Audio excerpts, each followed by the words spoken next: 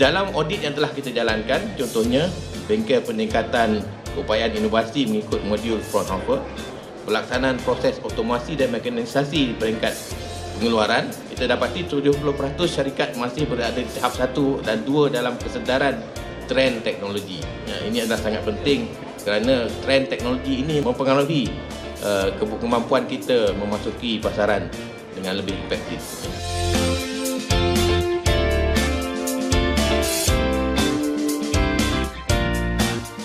Teknologi turut disyorkan kepada syarikat-syarikat yang telah dikenal pasti. Antaranya penambahbaikan dalam susu teknologi uh, pengenalan teknologi baru dalam proses pengeluaran akses pasaran termasuk pengujian produk persijilan dan juga peningkatan kemudahan uh, reka bentuk.